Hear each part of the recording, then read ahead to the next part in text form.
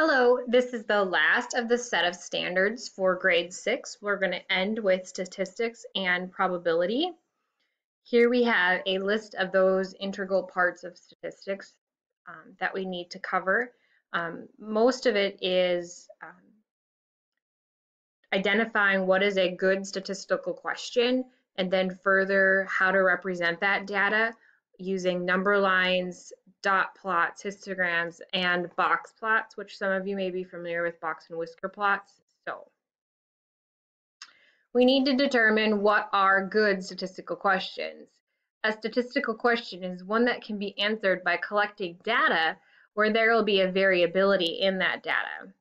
Take a moment, write down your guesses. Which of the following are statistical questions? Pause the video, make your best guess, and then we'll go through them.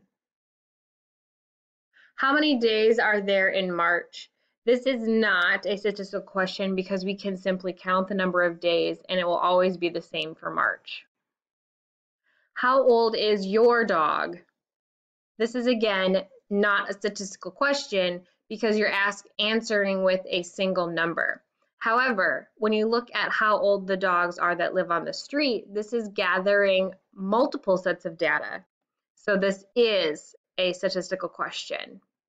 What proportion of the students at your school like watermelons? Again, a good statistical question because you're collecting data pieces.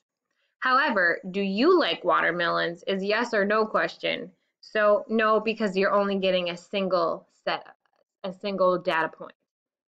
How many brick, bricks, bricks are on this wall? That would not be a good one because you're only talking about one particular wall. If we asked a question like how many bricks are on a set of walls, then we could use that as data.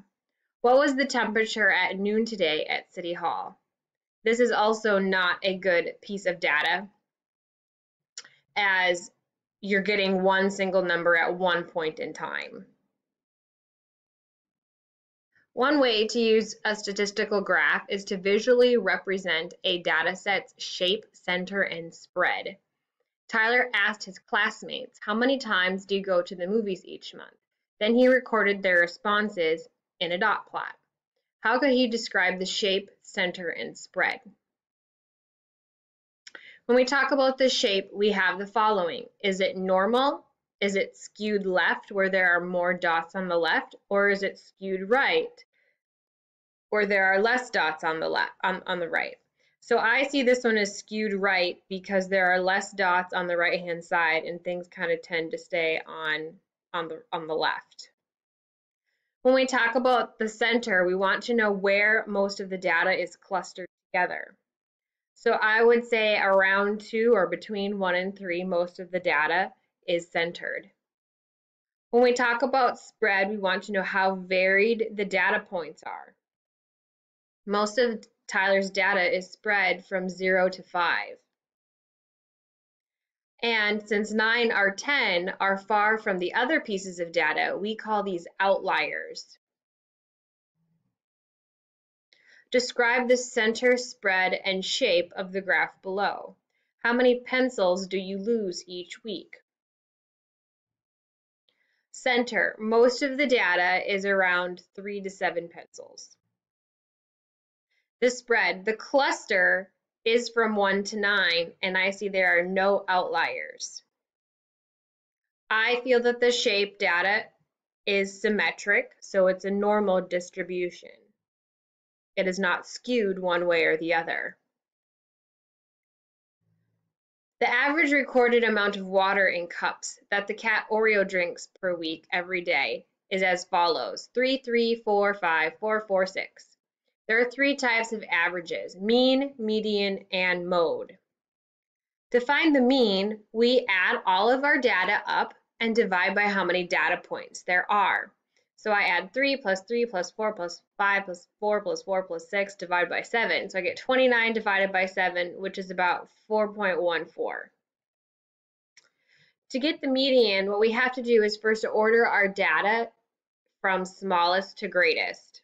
The median is the one that's directly in the middle. So to find it, we start taking and crossing off one um, piece of data from either side until we get to the middle. So I see our median is 4. The mode is the one that occurs the most. So I see 4 is the one that occurs the most. The central tendency of a data set can be described using on these measures. Ashley wrote down how much money she found in her pockets every time she did laundry. Find the measures of central tendency for her data set. Take a moment to pause the video and we'll come together. To find the mean, we add all of our pieces together. So 10 plus 2 plus 2 plus 0 plus 0 plus 0 divided by 6 because there are 6 pieces of data gives us 14 divided by 6, which gives us about 2.33. Again, the median, we start on the outside and we work our way in. Now this time I have two different pieces of data in the middle, so we'll find the average of those two pieces. So 2 plus 0 is 2, and 2 divided by the 2 is itself 1. And 0 happens the most often. Mrs. Turner scored all the math quizzes. She decided to give everyone five extra points and recalculated the mean, median, and mode. Which of the following would happen? Would the mode stay the same? Would the median increase by 5, the mean would decrease by 5, or the shape of the data set would change? Well, the mode wouldn't change because all we would do would be adding 5 to each number. So by adding 5 to each number, it's still the same data, just multiplied by a factor of 5. The median would also increase by 5 because the numbers would just shift, but we're not changing how many numbers that we actually have. And finally, the mean would decrease by 5 is not true, and neither of the shape would stay the same. A student is 54 inches tall. How does she fit into the data as a class? here are her classmates' information. Let's compare the mean. So the mean is we have to add all of our data pieces together. So I have 46 plus 50 plus 54 plus 54 plus 54 since there are three of them plus 55 plus 55 plus 55 plus 55 for four of those plus 56 and 56 58 and 61 Dividing that by 13 pieces of data, we get about 54.5. The median of the data is 55, and we can get that by crossing off one piece of data from each side. I get to the end here and I have three 55s, therefore the median must be 55. The mode of the data, the one that happens the most, is also 55. So when I compare the student's 54 inch height to all of my data points, I see that the student is shorter than the mean, the median, and the mode. Students always come to the principal's office and say that teachers never tell them they are doing anything wrong before giving out detentions, which is a true statement that the principal could say to change the student's mind. It looks like all of our options are talking about in mean, median, and mode. So let's go ahead and find the mean, median, and mode before we can identify which is the correct statement. So the mean, I have, of the number of warnings, there are two that are one. There are 10 two warnings.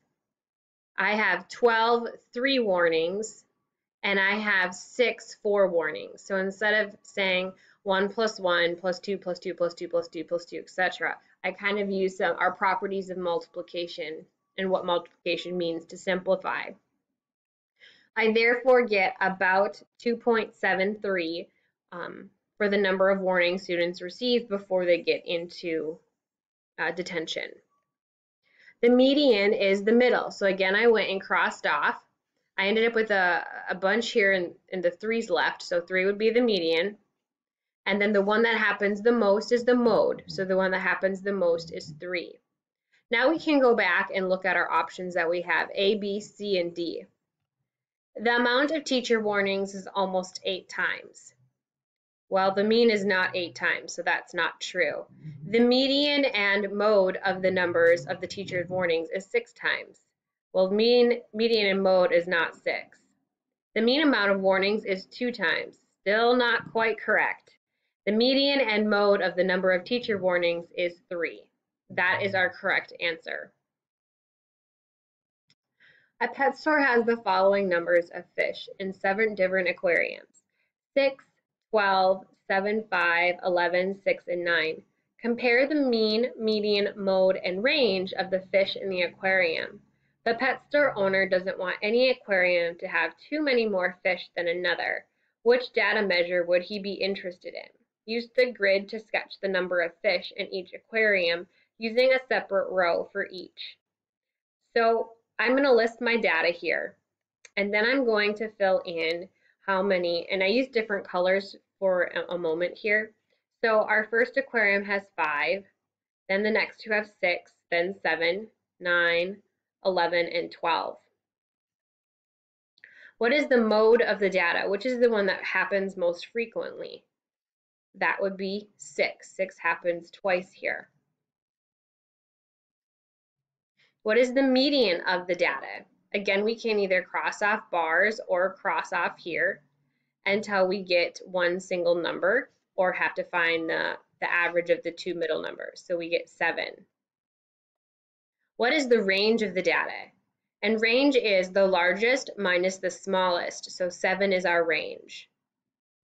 Resketch the amount of fish in each row so that each row has an equal number of fish. So I'm going to start borrowing from these heavier sided pieces and bringing them down um, to start filling and see if I can't make these all equivalent in size. So I took a few from the red and the purple and brought them down and I'm just kind of moving pieces around so that I create an equivalent set of data. Each row now has eight fish. Let's see how that compares to the mean. So to calculate the mean, we add all of our data, divide by how many they are, and I also get 8. So 8 is the process, and by moving our pieces around is, by, is the process of making them all even. How can we calculate the mean absolute deviation? Flower florists collected data on the length of time in days their flower lasts before wilting. What is the mean absolute deviation of this data set? So I have our data points. We need to know what the mean is in general. So I calculate the mean and I see that that is 10.5. In my table then, I will take my data point and subtract the mean. And I'll do this all the way, the way down here. And then I'm going to take that mean and identify the absolute value of that mean. Remember the absolute value is the distance away from zero. So all of my negatives go away. So here I've put the absolute value of my data. The next part in finding the absolute mean absolute deviation is to actually find the average of the absolute values. So I add them all up together and I still divide by 6 because there's 6 data points and we get 1. Since the 1 is a pretty small number, we can say that this data set has numbers that are pretty close to the mean. The standard deviation is the spread of how far away each data point is from the mean. Andy ordered seven games from the internet. He recorded the number of days it took each package to arrive in the data set below. Identify and interpret the mean absolute value. So there's my data points. We need to find the mean, which is about 10 and a half. I take each data point and subtract 10 and a half and get a bunch of data. And then I take the absolute value of all of those datas. I now need to find the mean of all of our absolute values. Notice we're still dividing by 7 because it is still 7 sets of data. I see this time it's about 4.9. Since the mean absolute value is larger, it can be said that the data points are spread further apart from the mean.